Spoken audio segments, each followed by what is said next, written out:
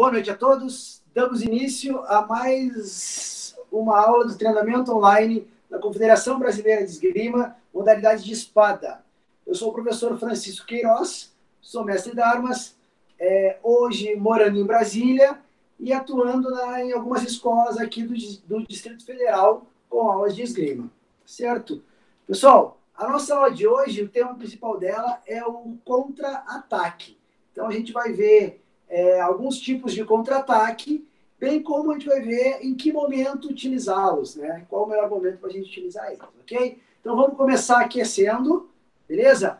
Primeira parte do aquecimento, vamos lembrar, o nosso aquecimento a gente vai ficar 30 segundinhos em cada exercício, ok? Primeiro, prancha baixa.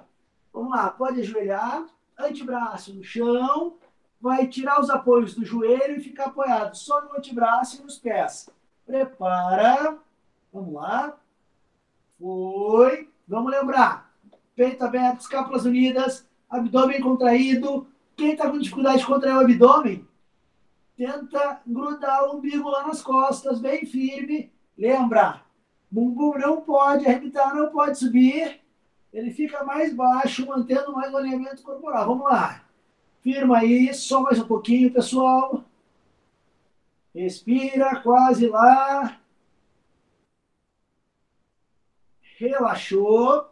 Agora deitou de costas no chão. Vamos para nossa ponte. Lembrando, deitados, joelhos flexionados, levanta a ponta do pé. Eu vou ficar apoiado no calcanhar, antebraço, o braço ao lado do corpo, estendido. E vou tirar bumbum do chão. Subiu. Vamos lá. Eu vou contrair o abdômen, contrair o glúteo. Vamos embora. Se tiver muito fácil na distância que você colocar os calcanhares, afasta um pouquinho o calcanhar lá, vai dificultar um pouquinho. Se tiver difícil, eu aproximo mais os calcanhares. Meu ponto de apoio fica nos calcanhares, nas minhas costas. Bumbum mais alto que conseguir. Vamos lá. Quase fechando. Aí, relaxou. Vamos levantar. Muito bom, pessoal. De pé. O que, que nós vamos fazer? Agachamento. Vou mostrar de lado para tirar as dúvidas. Ó, a mão, previsorialmente, preferencialmente, deixa ela na frente aqui para uma questão de contrapeso. Porque eu vou fazer um movimento como se eu fosse sentar na cadeira lá. Só que antes de eu sentar, eu paro e volto.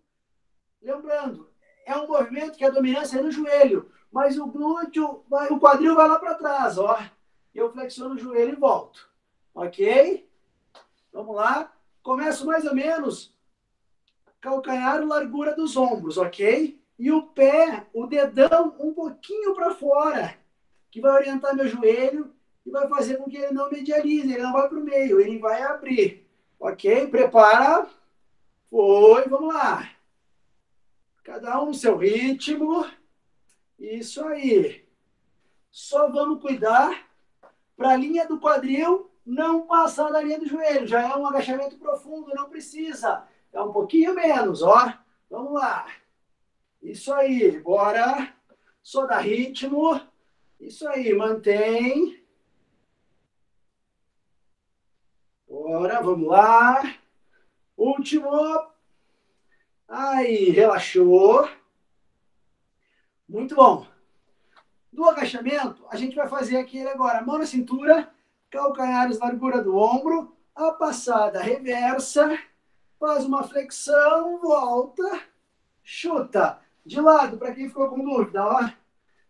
Largura, é, calcanhares largura dos ombros, mão na cintura, abdômen contraído, peito aberto, escápulas unidas. Fui lá atrás, flexionei, voltei e chutei. Ok? Vamos lá, prepara. Foi. Só com uma perna, não muda a perna. Isso aí, vamos lá, só dá ritmo. Foi. Muito bom, vamos lá.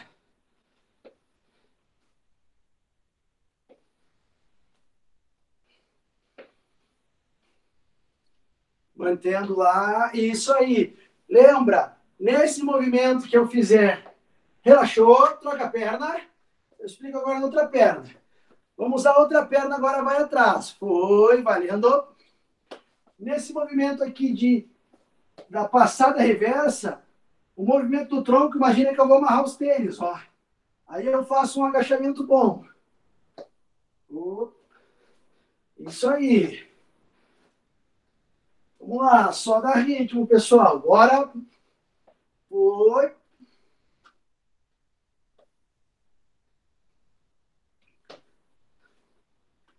Vamos lá, último. Aí, relaxou. Solta bem. Agora, mesma posição inicial. Pés inicialmente largura do ombro. O que, que eu vou fazer? Braço lá em cima. Flexão do quadril. Encostando no chão.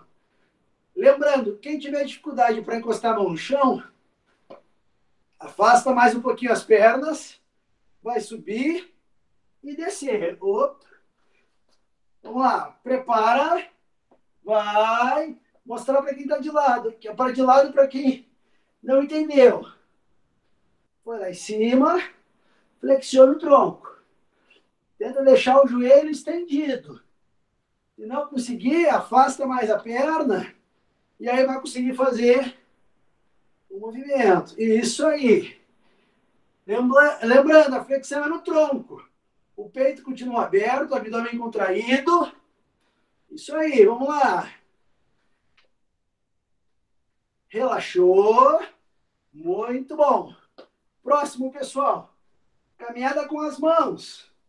Agora eu posso flexionar o joelho, porque eu preciso colocar minhas mãos no chão. Aí eu vou caminhando com as mãos até a posição de prancha alta, como se fosse fazer uma flexão de braço. E aí eu volto. Subiu, muito bem. Agora, os pés não precisam ficar tanto a largura do joelho. Pode ficar um pouquinho mais fechadinho suficiente para estabilidade, ok? Prepara. Foi. Botou as mãos no chão. Caminhou. Muito bom. E voltou. Vamos lá, pessoal. Subiu. Vamos lá. Cada um no seu ritmo. Vai lá.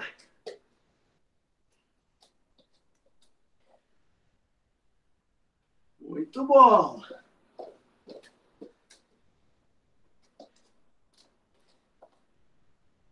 Aí, vamos lá, mais um pouquinho. Esse eu vou deixar passar um pouquinho de tempo. Teve um pessoal que começou um pouquinho depois. Vamos lá.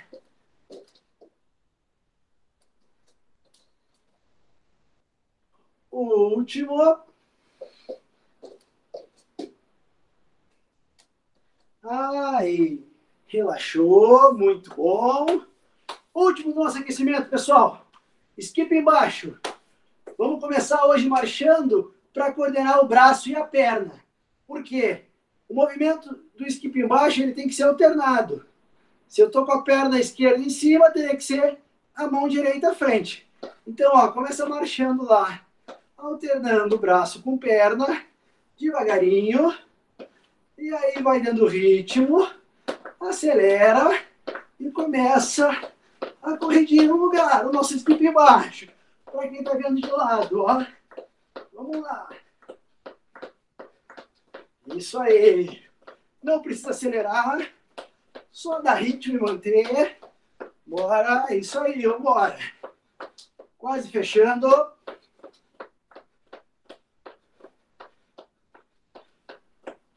Só mais um pouquinho.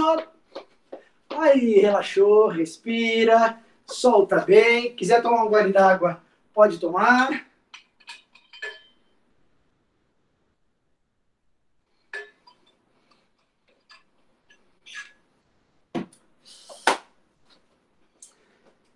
Muito bem, pessoal. Primeira parte, já entrando uma parte mais específica da esgrima, vamos trabalhar nossa escola de passos. Primeiro exercício que eu separei na nossa escola de passos é uma evolução de um que nós fizemos há uma ou duas aulas atrás. Lembra que a gente começava assim, ó, mão na cintura, saltitando, não precisava muito. Quando eu bati a palma, caía na guarda e equilibrado. O que, que vai mudar agora? Antes de eu bater a palma, eu vou falar o deslocamento que a gente vai fazer. Então, vocês vão estar saltitando E eu vou falar. Marchar. Depois que eu bater palma, cai na guarda e executa o marchar. Ok? E aí volta para a posição e retorna a saltitar. Certo? Entenderam? Vamos lá então. Muito bom. Bem tranquilos, mão na cintura. Só lembrando, pessoal, saltitar não precisa ser muito alto, não. Curtinho, tá bom? Bem curtinho. Vamos lá. Começou. Isso aí, muito bom. Marchar. Isso aí, faz o marchar. A ideia justamente é o quê? No saltitar, no saltitar para a guarda, provocar o desequilíbrio em vocês. Né? Então vocês têm que tentar cair o mais equilibrado possível e executar um movimento mais equilibrado. Muito bom, vamos lá. Saltitando, bora. Vamos lá, ritmo devagarinho. Isso aí, muito bom. Vai lá, não precisa ser alto. Marcha, marcha. Isso, relaxou. Solta lá. Procura pegar, pessoal. Cada um vai ter uma distância diferente aí na casa. Mais ou menos o meio do caminho, né? Entre a câmera e a parede de trás. Que daí eu tenho é, como trabalhar deslocamentos para frente e para trás sem vocês baterem. Se chegou no seu limite do espaço, aí não tem problema, a gente respeita o limite do espaço aí. Vamos lá, saltitando. Foi. Muito bom, pessoal. Dá ritmo, dá ritmo. Vamos lá. Atenção. Dois marchas, um rompe.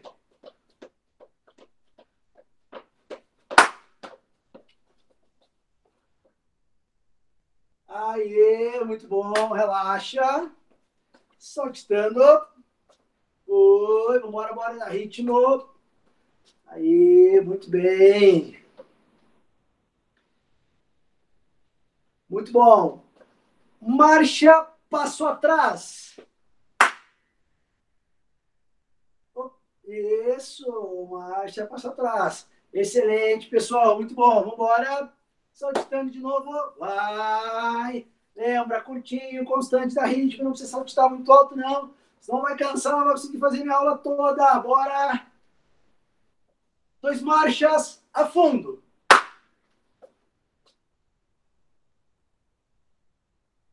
Bom, pessoal, isso aí. Relaxa, volta lá, guarda. Saltitando. Vai. Muito bom. Vamos lá, saltitando. Salto à frente, a fundo.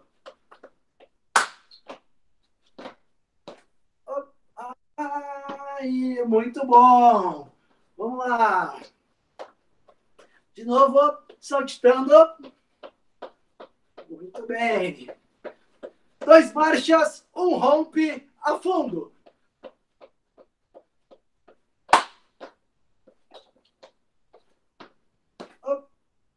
Aí, volta a guarda. Excelente, pessoal. Relaxou, soltou. Vamos lá. Prepara, saltitando de novo. Foi.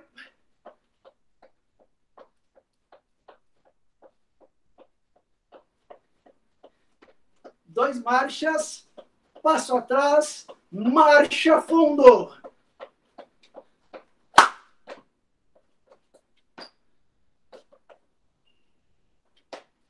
Lá. Aê! Relaxou. Muito bom. Vamos lá, respira. Saltitando. Vai.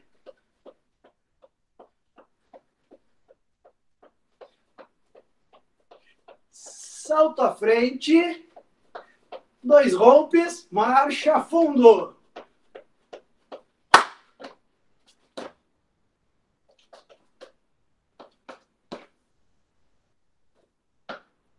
Aí, relaxa, respira, solta bem a perna.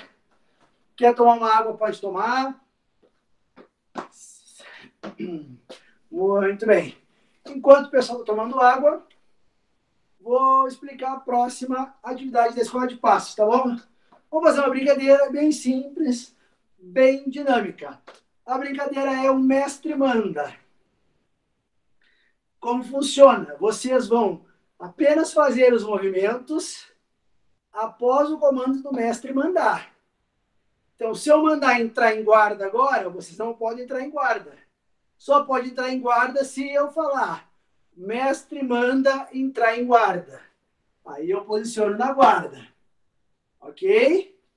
Todo e qualquer movimento que eu falar para vocês fazerem só pode ser falado se antes eu usar a frase, o mestre manda. Ok? Certo? Vamos lá então? Fica mais ou menos no meio do caminho do espaço que vocês têm aí. O mestre manda entrar em guarda. Muito bom. O mestre manda marchar. Mestre manda romper. Isso, não precisa esperar. Faz o movimento. Mestre manda rompe, rompe. Mestre manda marcha, marcha. Mestre manda romper. Isso, pessoal. Tem que fazer o que eu falo, não o que eu faço. Muito bom. Mestre manda entrar em guarda e corrigir a posição. Vamos lá. Vamos lembrar a posição de guarda. De lado aqui para vocês pés em L, mais ou menos largura do ombro, joelho flexionado, braço armado na frente, cotovelo flexionado, braço paralelo ao solo, braço de trás aqui. Aí está a posição de guarda, muito bem. Mestre manda corrigir a posição, mestre manda marchar. Mestre manda marcha, marcha. Mestre manda rompe, rompe. Mestre manda dois marchas, um rompe. Mestre manda romper. Mestre manda passo à frente, rompe, rompe, marcha a fundo.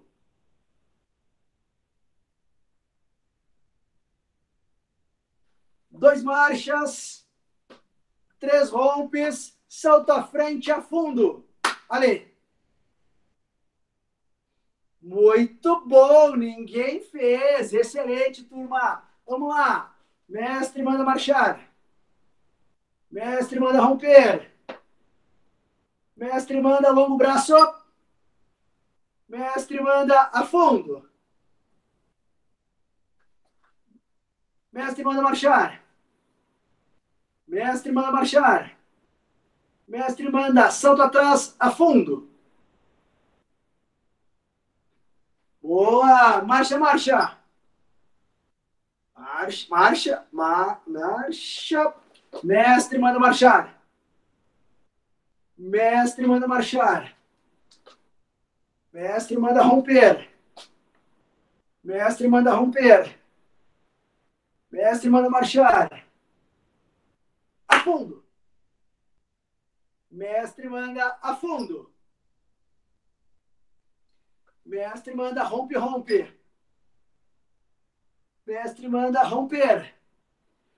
Mestre manda salto à frente, passo duplo à frente, a fundo. Aí, mestre manda relaxar, solta bem, respira. Isso aí. Vamos lá.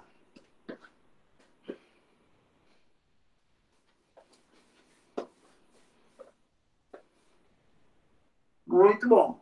Pessoal, é, para essa primeira parte agora, que a gente vai entrar, depois da escola de passos, é, não precisa de material, tá? Basta prestar atenção. A gente vai fazer uma pequena revisão para tentar é, tirar alguma eventual confusão que vocês têm é, dos movimentos. Todo mundo está me ouvindo bem? Pessoal que estava com problema de som no início, maravilha. Vamos lá então. Uh, a ideia é tentar clarear algumas dúvidas que eventuais vocês possam ter, tá bom? Então, é, fique à vontade para responder, tá bom? Eu vou dar um tempinho para pensar e aí me responderem. Vamos lá. Primeira pergunta que eu faço. A fundo é um ataque? Sim ou não? Vamos lá. Pode abrir o microfone e responder. Pode abrir, pode abrir o microfone e responder. Não, ninguém quer. Ok, a Camila fez sinal de positivo. Camila, fundo e ataque, sim? Ok. Camila, vou ter que decepcionar, mas não é, Camila! Essa é uma grande confusão que muita gente faz. Tá? O afundo, ele é classificado como um deslocamento. Porém, um deslocamento que 99% das vezes é para o ataque. Só para não dizer que é 100%. Você pode fazer ali ele com uma segunda intenção. Mas, de modo geral, ele é um deslocamento usado para o ataque. Lembra que o ataque a gente tem basicamente duas grandes classificações: simples e compostos. No simples, a gente viu que tem o golpe direto, desengajamento e o cupé. Os compostos são combinações dos ataques simples. Normalmente precedido por uma finta de ataque, né? É, eu começo com uma finta e depois finalizo. Eu posso ter uma ou mais fintas, mas ataques são basicamente esses dois, simples e compostos, ok? O afundo é um deslocamento. Não pode confundir isso, certo? Ficou claro para vocês? Alguma dúvida do que eu falei? Classificação dos afundos, dos afundos, beleza. Acabei de falar bem certinho, né, professor? Alguma dúvida em relação à classificação dos ataques? Ok. Então vamos lá. Outra pergunta. Qual é a diferença, se é que existe ou não, pode ser a mesma coisa, entre parada e ataque ao ferro? Por que, eu estou perguntando isso? Se eu estou fazendo lá, vamos lá. Imagina que eu estou fazendo uma parada. Opa, fiz uma parada. Ah, vou fazer um ataque ao ferro. Opa, fiz um ataque ao ferro. O movimento é muito parecido. Como é que eu sei quando é um e quando é outro? Como é que eu diferencio uma parada de um ataque ao ferro? Vamos lá. Eu vou dar 10 segundinhos para pensar e mais 5 para criar coragem de abrir o microfone e falar. Então vocês têm 15 segundos ao todo. Vamos lá. Também, se não souber, se estiver com medo, não precisa falar. Daí eu, eu explico para vocês. Vamos lá. Pode pensar. Alguém vai arriscar alguma coisa? Vamos lá. Cinco, quatro, três, dois, um. Ninguém vai querer responder? Beleza. Então eu falo. Pessoal, a diferença é na finalidade de cada um.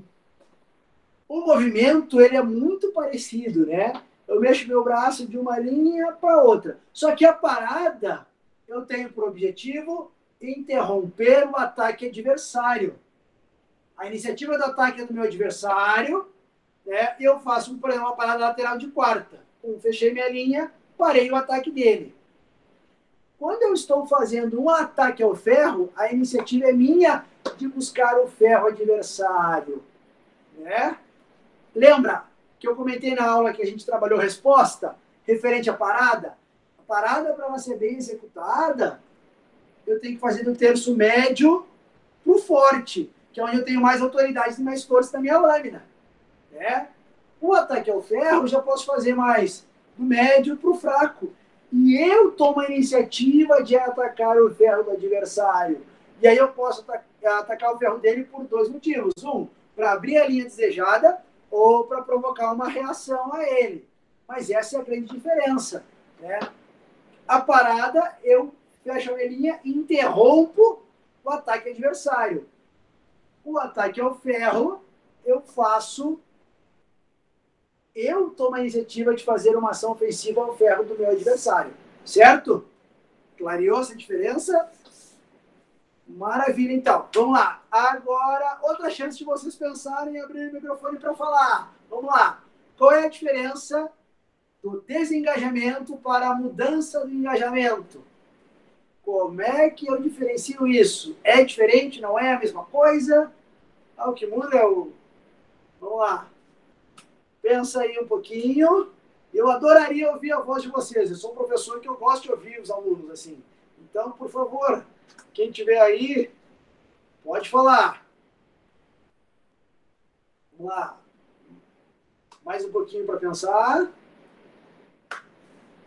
Eu vou escolher um aluno aleatório e vou fazer. Camila, você não está respondendo porque você não sabe ou está com vergonha? Se for vergonha, faz assim que aí eu não falo mais. Se você não. Aí, entendeu? Que eu vou entender que talvez você esteja na dúvida do que, que é. Ok? É vergonha? Então vamos lá. Vamos, não é vergonha. Então tá na dúvida? Que bom que eu estou tirando essa dúvida então. A diferença de desengajamento para mudança de engajamento, novamente, é a finalidade da ação. O desengajamento, ele é um ataque. Lembra que eu classifiquei três ataques? Golpe direto, desengajamento e, por último, o cupê.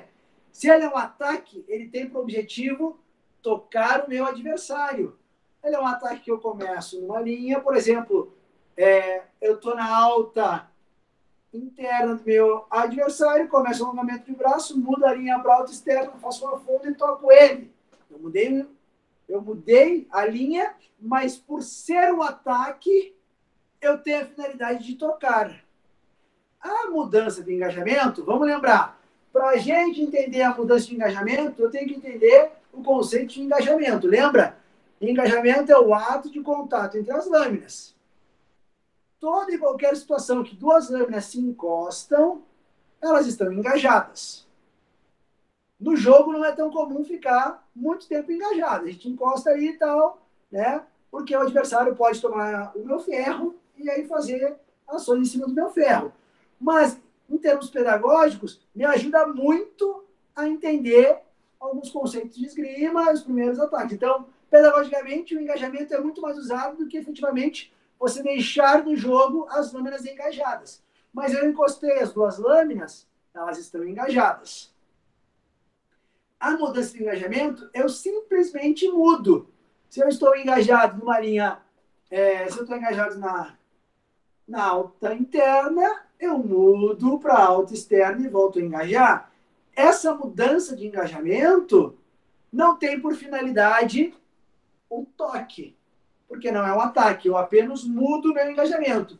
E isso pode ser de uma linha alta para outra linha alta, de uma linha alta para uma linha baixa, né? E de uma baixa para outra baixa. Eu posso mudar para onde eu quiser, ok? E aí a gente entra também já na diferença da parada circular. Por exemplo, meu adversário me ataca a mão interna. Eu faço uma parada de contra de cesta.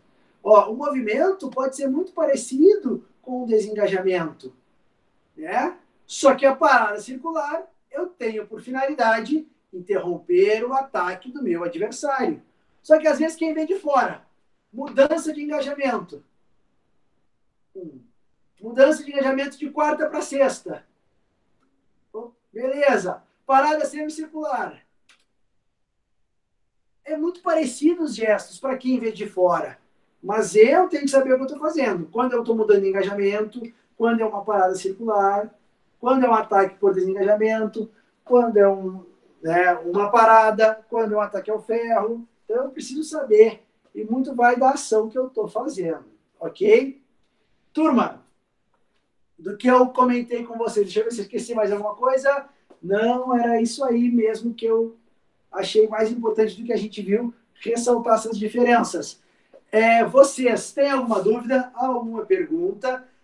Pode ser de modo geral ou pode ser mais específico do que foi trabalhado nessas aulas até então. Não? Fiquem à vontade, aproveitem, que a hora é essa. Ok? Reinando silêncio.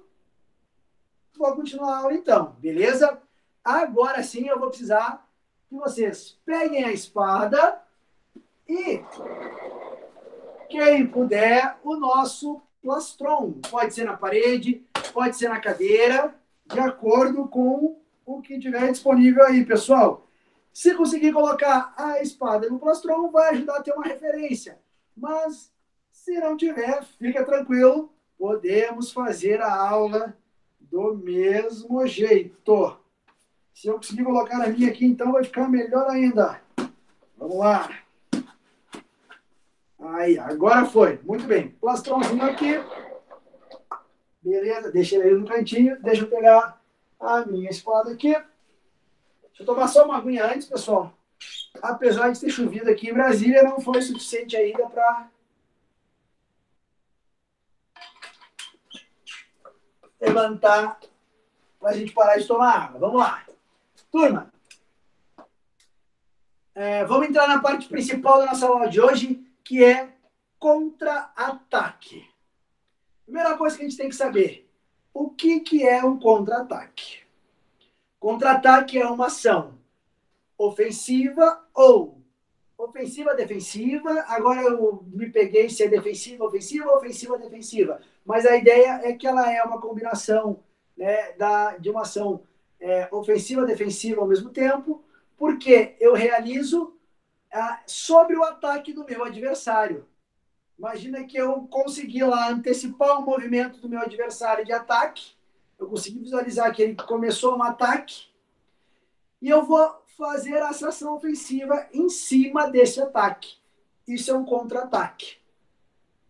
Ok? Então vamos bem simplesinho, tá? A grosso modo, vamos entender bem basicamente aqui, ó. Imagina que o nosso plastron. Peraí, que meu recurso aqui da aula de hoje. E deu um nó aqui. Vamos lá, agora foi. Vamos lá. Imagina que o meu plastron está me atacando. Ó, ele está vindo para cima de mim.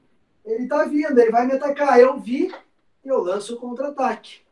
De novo lá, ó. Quem tiver rodinha em casa e cordão barbante, ó, cadeira de rodinha, pode brincar aqui, ó. Começa o contra-ataque, ele vem me atacar, eu contra-ataco. No meio do ataque dele, eu faço a minha ação ofensiva. De novo, ele começou a vir, tá me atacando, eu peguei, pum, e eu faço o ataque. Beleza, essa é a ideia para vocês entenderem o que é o contra-ataque. Ok? Normalmente, eu consigo antecipar esse contra-ataque quando eu vejo, por exemplo, uma saída de afundo mal executada. Né? O meu adversário vai fazer um ataque utilizando o afundo como deslocamento e ele sai com o braço encolhido. Ó. Vou mostrar aqui de lado. Aqui, ó. A gente aprendeu que o afundo é alonga o braço, afundo. Aí o meu adversário está em distância do afundo, ele saiu para fundo, o braço recolhido. E aí é uma oportunidade que eu tenho de contra-atacar. Né? Ou se ele está mais distante e ele faz um movimento descoordenado de braço, né? Ele sai para um marcha fundo, por exemplo, ele marcha com o braço alongado, e aí ele recolhe de novo. Então, é, normalmente, o que me permite um contra-ataque é justamente o ataque mal executado do meu adversário, né? E essa antecipação, essa visão que eu tenho de enxergar, ok? O primeiro contra-ataque que a gente vai ver é o arresto simples. O que caracteriza o arresto simples? É exatamente o que vocês viram eu fazer aqui. Imagina que o meu adversário está atacando, o que eu faço? Sobre o ataque mal executado dele, eu alongo o braço e toco.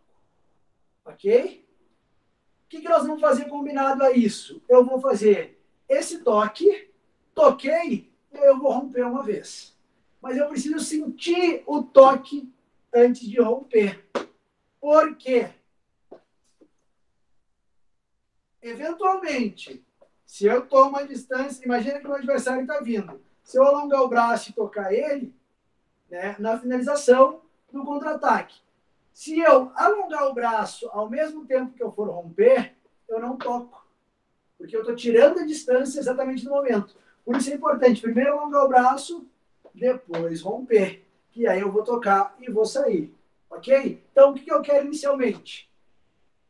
Uma imaginação muito boa e forte de vocês, imaginando que o adversário está atacando. E aí ele saiu para um afundo com o braço recolhido. E sobre esse afundo do braço recolhido, eu vou tocar ao corpo dele. Lá no peito dele, toco e saio. Ok? Então, deixa tocar, depois sai. Beleza? Então, primeiro a gente vai fazer um contra-ataque ao corpo, no caso, o peito. Vai lá. Pode começar devagarinho, cada um no seu tempo. Vai fazendo. Isso aí, não tenha pressa. Lembrando, importante que no, aí volta para a distância inicial. No contra-ataque, nesse momento eu não preciso ir à frente. De modo geral, também eu não preciso, porque o adversário já vem na minha direção. Ele já está avançando, então eu só preciso alongar o braço e sair. Ok? Vamos lá. Mano, isso aí, devagarinho, cada um no seu ritmo, sem pressa. Como nós estamos com algo fixo, eu vou entrar em guarda a distância de braço alongado lá. Eu imaginei o ataque do meu adversário, pum, e sair. Ok? Isso aí. Muito bom, pessoal. Isso aí. Braço alongado. Vamos só lembrar, ó. Braço para alongar. Punho na altura do ombro. Mão supinada. Ponta levemente mais baixa que o meu punho. Aqui eu tô com o braço bem alongado. Ok? Não adianta contra-atacar com a ponta alta, com a ponta muito para a direita, muito para a esquerda. Vamos lá. Pode ir fazendo, devagarinho. Vai lá. Isso aí. Cada um no seu ritmo. Muito bem.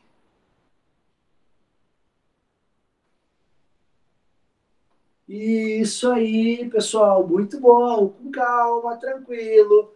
Tá vendo o ataque dele? Saiu profundo com o braço recolhido. Né? Alonguei meu braço, contra-ataquei ao peito e depois eu saio. Muito bom. Aí, relaxa. Pessoal, essa era a ideia do arresto simples ao peito, tá? Eu também posso trabalhar as avançadas. Lembra? Vamos lembrar o que, que são as avançadas. Ó, tudo que tiver da linha do meu peito à frente são as avançadas. É, cotovelo, que a gente chama de sangradouro, mão, joelho, pé, são as avançadas. Então agora a gente vai fazer o seguinte: vamos trabalhar a ideia das avançadas. Por quê? A espada me permite tocar as avançadas. E muito provavelmente o meu adversário pode cometer um erro, até mesmo de alongamento de braço, partindo com o braço né, mais alto, a mão mais alta, ele já está saindo com o movimento errado. Ou ele está muito aberto, ou muito fechado. Ele já sai fazendo um movimento de alongamento de braço é, não, não correto, propicia um contra-ataque às avançadas. Então, agora é o seguinte: quem tem uma referência da espada ou do braço da cadeira, usa a imaginação que ali é as avançadas do adversário e é ali que eu vou fazer o contra-ataque e depois eu vou sair. Quem não tiver, se eu tiver o plastron, não tem problema. Imagina que ele está saindo com a mão errada, toca lá e volta. Ok? Vamos tentar então. Quem tiver a opção do plastron ou do braço da cadeira, usa. Se não, pode usar o próprio plastron. O que vai diferenciar? Eu não vou jogar tão alto, eu vou jogar mais ou menos. Eu vou, o que eu quero dizer jogar é jogar a minha ponta mais ou menos onde seria a mão do meu adversário e sair. Ok? Vamos lá então? Pode tentar. Vai fazendo devagarinho. Isso aí. Quem tá com, é que eu tô com duas espadas de tamanho diferente, tá? Quem tá com a espada regular pode fazer o contra-ataque mais ou menos onde é o copo e sair. Mas primeiro alonga o braço é, e depois sai. Vai lá. Sem pressa, devagarinho. Vai fazendo. Isso aí, muito bom. Vamos lá mantendo o ritmo, isso aí. Senta bem na guarda. Pessoal, evita de projetar o tronco à frente para desequilíbrio. Não, mantenha o tronco equilibrado, ó. De lado aqui, ó. Não precisa jogar o tronco à frente para fazer o contra-ataque. Um, faço o contra-ataque e saio, ok? Devagarinho, vamos lá, sem pressa. Isso aí. Isso. A gente está imaginando que o contra-ataque vai ser a mão interna. Então, o nosso adversário saiu com a espada lateralmente mais aqui e o punho mais aberto, permitindo a minha ação ao contra-ataque. É, perdão, é, permitindo o contra-ataque à mão interna, ok? Isso aí. Aí, relaxa, turma. Muito bom. Vamos trabalhar um outro tipo de contra-ataque que também acontece muito, né? Que é quando o nosso adversário sai para o fundo com a mão mais elevada. Ele expõe a mão embaixo. Vamos lá, lembra que a gente trabalhou as posições de esgrima? Esse contra-ataque a gente vai fazer na posição de segunda. ok? Como é que é a posição de segunda? Vamos lembrar rapidinho. Minha mão está em pronação, é, perdão, em supinação, palma da mão para cima, que é a minha posição de guarda. E eu vou pronar ela. Eventualmente, quem tem dúvida de pronação e supinação, vamos lembrar bem rapidinho aqui, aqui eu acredito que nunca mais vai esquecer, tá? Lembra, supinação vem de súplica. Quando você vai pedir qualquer coisa, você pede com a palma da mão para cima. Quando você promete alguma coisa ou faz um juramento, palma da mão para baixo, né? É claro, não vale prometer assim, né? Não, eu prometo que eu nunca mais vou. Não, aí não é esse tipo de promessa, né? Vamos ver, por exemplo, Jogos Olímpicos, como é que os atletas fazem juramento? Palma da mão para baixo, né? Quando você era mais novo, ou para quem ainda é novo, vai pedir alguma coisa para o pai. Pai, dá um dinheiro aí para comprar um refri. Você pede com a palma da mão para cima. Então, supinação vem de súplica, de pedir. Então, eu estou na guarda clássica, supinação. O meu contra-ataque, eu vou pronar minha mão e fazer o um movimento a mão embaixo. E aí eu saio. Ok? Então, imagina aqui, ó, o que, que o adversário vai fazer de frente para você. Ele vai fazer um ataque com a mão subindo aqui, ó. Vou até chegar mais pertinho para que não ficou claro. Aqui, a minha mão embaixo está mais escondida. Quando eu faço um ataque que eu vou executar errado, eu flexiono mais meu cotovelo. Em vez de eu alongar o braço à frente, eu subo a mão, ó. E aí eu deixo a minha, a minha mão embaixo toda disposta. E nesse momento, o que eu faço? Para facilitar o movimento, ó, quando eu prono a mão, a ponta da espada ela já vai mais ou menos exatamente na linha de direção da mão do meu adversário. E aí eu só preciso alongar ali um, e depois eu saio, ok? Então vamos lá, imagina que ele está começando o ataque, expondo a mão embaixo. O que eu faço? Posição de segunda, toco e saio, ok? Vamos lá então. Isso aí, vai devagarinho. Ó, antes de alongar o braço, eu já faço a posição, alongo o braço e vai. O que eu estou falando para vocês, pessoal, claro, nesse momento, principalmente quem está começando a aprender, pode fazer bem parcializado, bem devagarinho. Posição de segunda, alonga o braço e sai. Conforme você vai pegando o ritmo do movimento, dominando, você pode executar quase que num tempo só, ou quase que tudo junto, ok? Bem como às vezes a perna de trás, ela sai quase junto já, e aí vai. Mas nesse momento inicial, para quem está começando, vai mais devagarinho, depois vai levando. Vamos lá. Vamos praticando aí que eu vou observando daqui. Se tiver que corrigir alguma coisa, eu grito. Isso aí. Lembra? Posição de segunda é só dar uma pronada e a ponta já vai ficar alinhada com a mão do adversário é, praticamente. Ok? Vamos lá, devagarinho, sem pressa. Tudo bom? Vamos lá, mano. Isso aí. Isso. Esse caso é quando o adversário está saindo com a mão em cima. Aí eu estou fazendo um contra-ataque a mão embaixo. Opa, isso aí. Ok? Relaxou. Respira. Difícil, pessoal? Não? Beleza. Claro que no plastron é, é tranquilo. Difícil vocês vão ver depois, quando tiverem a oportunidade de praticar com um colega, vocês vão ver que é, é um pouquinho mais complicado, mas nada impossível de fazer. Nada que meia dúzia de, de aulas treinando ali você não esteja em condições 100% de executar o contra-ataque. Tá certo? Turma, basicamente. Ah, lembrei agora aqui, já estava esquecendo já. Já ia passar para um assunto e deixar o outro. Esse foi o arresto simples, ok? Vamos trabalhar agora na ideia do arresto de oposição. Lembra que a gente trabalhou é, a resposta por oposição? O que, que era a resposta por oposição?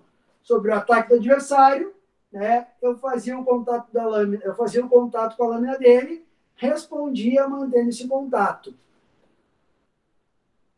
O arresto por oposição é o mesmo princípio. né?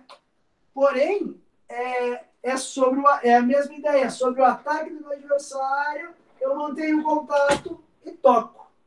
Ok? Então vocês vão imaginar o ataque do adversário, vamos pro a resto proposição ao corpo do, do adversário. Imagina que ele começou um ataque, eu vou interceptar a lâmina no meio dele, toquei e saí, ok? O arresto proposição, ele acaba parecendo muito com a parada por oposição, confunde muito, porque é quase, é, ele passa muito essa ideia, né? O que muito vai diferenciar é o início. Normalmente o adversário começou o ataque de forma errada. Então ele me permitiu que eu fizesse um contra-ataque. Necessariamente não precisei fazer uma parada, porque eu antecipei o ataque dele. Conseguiram perceber essa diferença ou entender? Perceber não, porque a gente não está é, mostrando efetivamente, mas o importante é vocês pegarem essa ideia que na parada o adversário fez um ataque bom e eu tive que interromper esse ataque para responder, no caso, né? Parar e responder. No contra-ataque, eu vi que ele começou um ataque mal executado, eu intercepto a lâmina dele, oponho e aí deixo ele entrar. Ok? Então, minha resposta por oposição, ela, eu posso ter um, um ímpeto ofensivo de deslocamento no contra-ataque, eu necessariamente não preciso ir à frente, né? Eu deixo porque ele está entrando, ele já está vindo. Ele só entrou errado. E aí depois eu saio, ok? Então vamos imaginar, quem tiver com plastron com a espada, vai o quê? Imagina que ele atacou erradamente, eu interceptei, ele fez um ataque por a fundo na alta interna, eu fiz uma interceptação, opus, deixei ele cair no afundo, toquei ele e saí. Ok? Vamos tentar? Vai lá. Devagarinho. Sem pressa. Agora a diferença é que eu vou, no arresto, manter o contato com a lâmina. Bora. Isso. Eu não preciso avançar, pessoal. Imagina que ele está entrando, então eu posso ficar mais pertinho né? Eu estou a pé firme, o deslocamento é do meu adversário. Ele foi para o fundo, eu só fiquei ali, ó, deixei ele finalizar o afundo errado, opus a lâmina dele para ter um resguardo maior, que ele não ia me tocar, e depois eu saí, ok?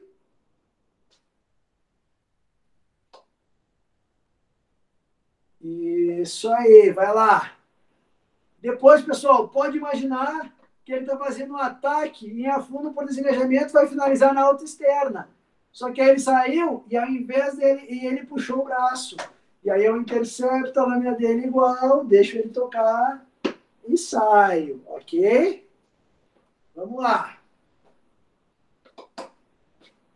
Quem já fez para o ataque a fundo na alta interna, faz para o ataque a fundo pela alta externa. Vamos lá, pessoal. Muito bom, turma. Isso aí. Lembra, eu não preciso necessariamente avançar, eu posso ficar no lugar. Contra-ataque, de modo geral, eu faço pé firme. Pum. E aí eu saio, ok?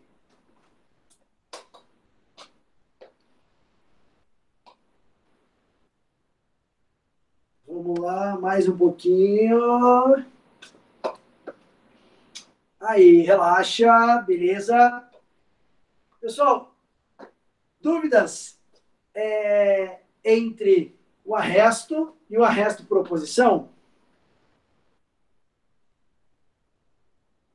Ok, né? O proposição que muda, eu mantenho o contato da lâmina. O arresto simples é o 1. Um arresto, só alongo meu braço e deixo ele se tocar, beleza? Além dos dois tipos de arrestos que a gente conversou, é, eu vou mostrar, mas a ideia é, não é tanto vocês trabalharem na aula, é mais para vocês conhecerem, saberem que tem.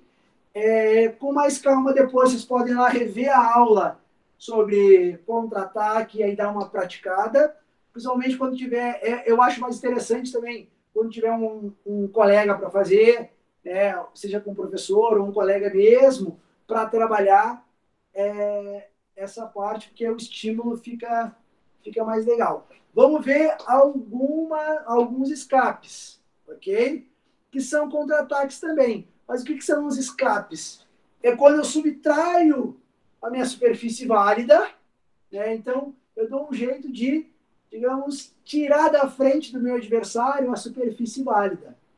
Primeira que eu vou mostrar para vocês é a enquartata. O que, que é enquartata? Eu parto da posição de guarda, ok? Imagina que o adversário está fazendo um ataque é, por afundo na, é, na alta interna, ok? O que, que eu faço? Eu alongo meu braço e ao mesmo tempo que eu alongo meu braço, eu dou um passo atrás. O pé de trás, ele vai atrás. Que aí eu estou substituindo, ó, eu tiro o meu corpo da frente, mas a minha ponta fica. Ok? Ao mesmo tempo que eu alongo o braço, eu saio com o pé de trás. Isso é uma enquartata. Ok? É um tipo de escape. Ó, eu estou subtraindo de novo. Eu estou subtraindo meu corpo, eu tiro meu corpo e deixo a ponta lá. O que, que eu tenho que ter? Com, qual é o meu cuidado principal aqui? A minha ponta. Por mais que eu tire a referência do meu corpo, a minha ponta tem que ficar em direção ao meu adversário. Não adianta fazer uma enquartada e girar a espada. Aí meu adversário vem e deixa sem de me pegar. É, a ideia do contra-ataque é justamente ele se tocar. Então eu deixo a minha ponta para ele. Ok? O segundo escape que eu gostaria de mostrar para vocês é o ajuntamento. O que é o ajuntamento? Eu simplesmente diminuo o espaço do meu corpo, mas no sentido mais lateral. O que eu faço? Eu vou unir os meus pés, posso tanto unir o, da, o de trás com o da frente, ou da frente com o de trás. Mas repara que eu tenho uma diminuição pum, do meu corpo. Então, eu, o ajuntamento vem diretamente de juntar os calcanhares, é uma guarda quase calcanhar com calcanhar, e eu faço um contra-ataque lá. Então ele vem me atacar e eu opa, junto aqui e contra-ataco. Ok? É, é um pouquinho mais simples que a enquartata. Por último, é um, um escape que ele chama passata de soto. Ele tem esse nome porque, salvo engano, a primeira vez que foi feito foi por um cubano que chamava Soto. Como funciona? Basicamente, ele é um afundo para trás. Deixa eu só tirar aqui a cadeira. Isso aí. Basicamente, ele é um afundo para trás, escondendo meu corpo. O que, que eu faço? O afundo que a gente aprendeu, o braço, vai lá na frente, ok? Esse, o que, a gente faz? Ao mesmo tempo que alonga o braço, eu faço um afundo para trás e subtrai meu corpo. Então eu tiro o meu corpo da ponta dele. Eu vou fazer o afundo para trás. Opa! E aí fiz o afundo. Isso é a passada de solto. É um afundo para trás, levantando mais a mão, diminuindo o meu tronco. Ok? Esses são os três escapes que eu queria mostrar para vocês. Também são contra-ataques. Sobre a ofensiva dele, eu consigo executar esses três, ok? Do que eu apresentei para vocês referente a esses três escapes, há alguma dúvida? Há alguma pergunta? Alguém já usou algum desses? Já viram e não sabiam o que estava acontecendo? Agora vocês já sabem, ok? Muito bom, turma. Uh, vamos lá. Pessoal, para encerrar a, a nossa parte principal, sobre contratempo, é, duas coisas a gente tem que ter em mente que são importantes, que eu entendo que são importantes para uma boa execução de um contra-ataque. Primeira, noção de distância. É, eu tenho que saber a que distância eu estou do adversário ou que ele está de mim para executar um contra-ataque. Né? Para eu não me confundir, de repente, executar um contra-ataque é o peito, quando se eu tivesse ido nas avançadas, eu teria tocado. Então é importante essa noção de distância né, para o contra-ataque. E o segundo é a precisão. Então, é justamente eu. Se eu vou à mão interna, eu alongo meu braço e sei que a minha ponta está na mão interna do adversário. Então, vamos lembrar como seria uma boa posição de modo geral do braço. Eu alongo meu braço, meu punho fica na altura do meu ombro, meu braço levemente, meu punho levemente espinado, minha ponta um pouquinho mais baixo que o meu punho. Aqui é um alongamento de braço bom. Né? Então é importante eu treinar, e aí é importante ter o boneco, ter o meu colega, ou ter uma imaginação muito fértil de saber aonde está o braço ali do meu adversário para ir na mão e sair. Ah, eu quero é o corpo, pum, eu vou no corpo e saio. Então é saber onde eu estou colocando minha ponta. A precisão é muito importante e a noção da distância. Infelizmente, eu não vejo, não descobri ainda uma forma mágica para dizer para vocês como faz isso. Só né, tempo ali treinando, praticando, vocês vão já começar a, a melhorar isso. Não, não tem muito mistério. Tem que treinar, treinar e treinar. Mas eu ressalto essas duas, esses dois fatores como primordiais para uma boa execução de um contratempo. Tá certo? Turma, eu abro aí a pergunta, as dúvidas, pode ir liberando a espada, a luva, tá certo? A gente já vai finalizar a aula, vamos fazer um alongamento agora para fechar. É...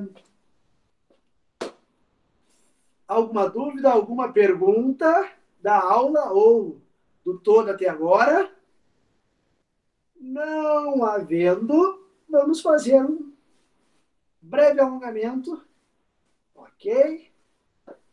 Vamos lá, respira aí, todo mundo pronto. Beleza, vamos começar então. Braço lá em cima. Aí, subiu lá, fica. Maravilha. Vai no seu lado direito, caiu lá e ficou.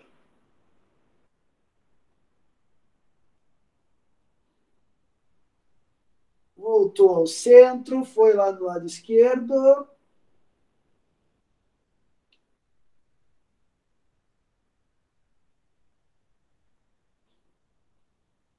Voltou, relaxou os braços. Vai pegar a mão esquerda agora, passar por trás e fixar aqui. E aí eu vou puxar o pescoço para o lado direito. Isso vai travar o ombro e aí evita que eu faça o quê? Fica lá na posição. Ó. Às vezes eu vou alongar o ombro, eu vou, eu vou alongar o pescoço, o ombro vem junto eu não alongo direito. Eu travando o lado oposto que eu vou puxar aqui, ó, eu alongo um pouquinho mais o meu pescoço. Aí, relaxou. Agora pega o outro braço, passa atrás e puxa lá. Isso aí, pessoal.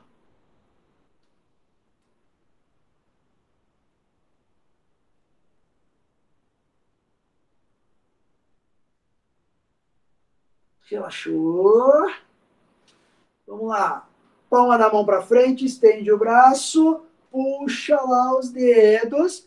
Não esquece o polegar. O polegar também é dedo. Alonga ele também. Isso aí mesmo, isso aí, tá certinho. Muito bom. Vamos lá. Relaxa o ombro. Às vezes a gente vai fazer esse alongamento, ó. E tensiona o ombro e eu fico sem pescoço. Relaxa lá, ó. Postura, isso aí. Não adianta eu estar alongando, esse alongamento mais leve para dar uma relaxada, aí eu estou alongando o braço, mas tensionando o pescoço. Não me resolve a vida. Aí, relaxou, troca o lado, vai o outro braço.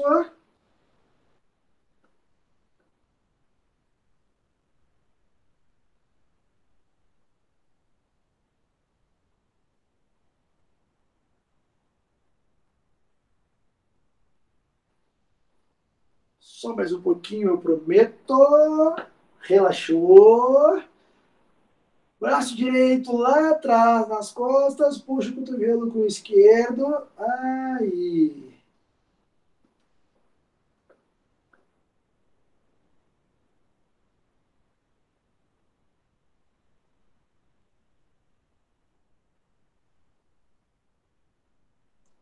Relaxou. Troca o braço. Foi. Ai, Muito bom. Vai lá.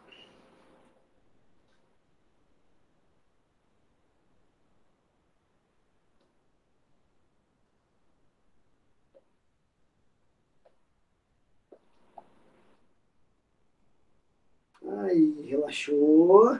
Vamos alongar o peitoral. Ó, pessoal, o que eu vou fazer? Entrelaçar os dedos aqui atrás, deixando os polegares para baixo, tá? O que, que eu vou fazer, ó? Eu vou afastar a mão do meu corpo até onde eu conseguir, sem flexionar o tronco. Quando eu comecei a flexionar o tronco, já não me resolve, já não estou alongando mais. Então, eu deixo aqui parado, vou afastando. Antes do tronco começar a flexionar a frente, eu paro.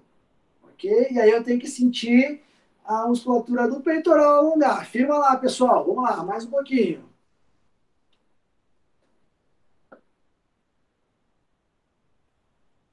Beleza, relaxou. Muito bom. Mão direita, pega a ponta do pé direito e puxa lá. Deixa o joelho mais ou menos, ó. Evita de deixar ele afastado, deixa ele próximo ao outro. Se tiver ruim para equilibrar, segura a barra que tem na frente aqui, ó. Que essa não nos abandona nunca e a gente consegue ficar equilibrado. Isso aí. Muito bom. Firma lá.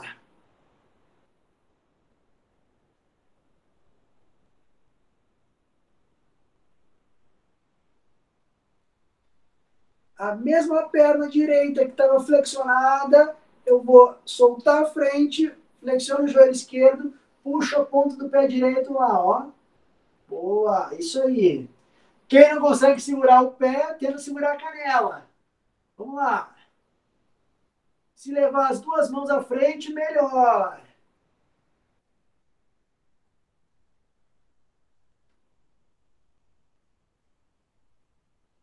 Aí, relaxou, solta. Vamos lá para a perna esquerda, puxa a ponta do pé. Foi. Tá com dificuldade de equilibrar? Segura a barra na frente aqui, ó. Isso, ela tá sempre aí. O bom é que essa barra vai para tudo que é lugar, a gente nunca perde ela. E o equilíbrio vai bem. Vamos lá, firma. Ai, relaxou, leva a perna esquerda lá na frente, estendo ela, relaxa a direita, puxa a ponta do pé esquerdo lá na frente, vou com a outra mão junto, vai.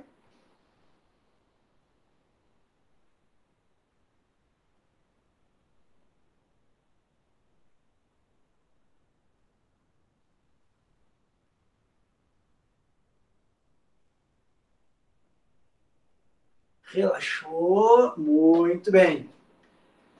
Pego a perna direita, cruzo sobre a esquerda e flexiono o tronco lá. Vai.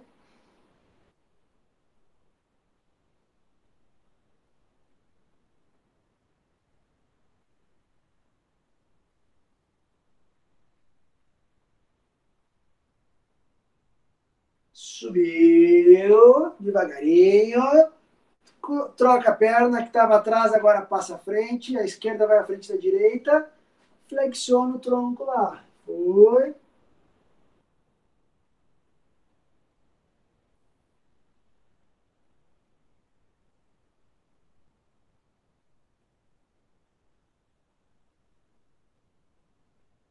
Subiu, voltou. Vou mostrar de lado próximo para vocês verem não terem dúvida, tá? Vamos lá pés paralelos, dou um passo bem grande à frente, a perna de trás quase fica estendida, quando ela estender, eu busco o chão com o joelho e fico lá. Tento ficar sem me apoiar no, no pé da frente. Eu só deixo os braços aqui para descansar, mas eu não faço força lá. Tenho que sentir alongar um pouquinho da posterior da perna da frente e a parte anterior aqui da perna de trás, o ilho pessoas, tá? Vamos lá, fica lá.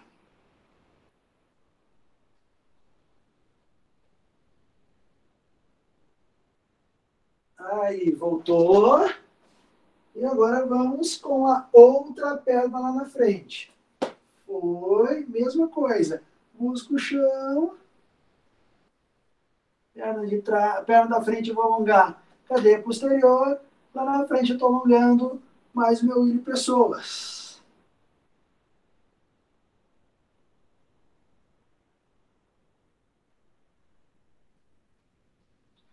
Aí, voltou.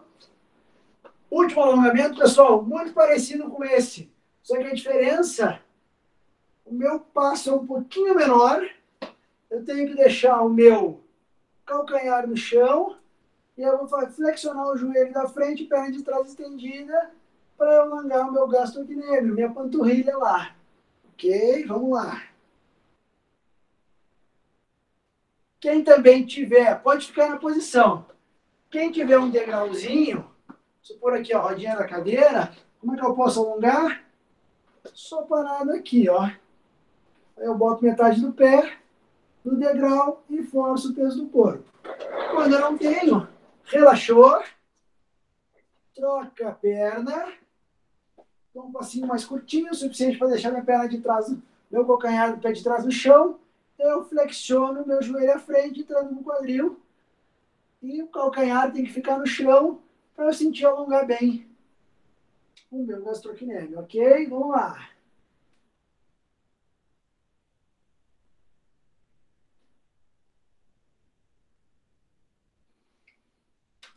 Só mais um pouquinho, prometo, já está acabando.